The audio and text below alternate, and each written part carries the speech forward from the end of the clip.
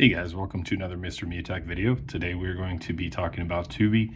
More importantly, with Tubi, how you can improve your streaming with it. Maybe you have some buffering issues that you're noticing that the movie you're watching just stops or um, it just delays a little bit. So there is a way that we can improve that in the app for Tubi. So if you have your app available for Tubi on your iPhone or Android device, go ahead and just tap that and open it up.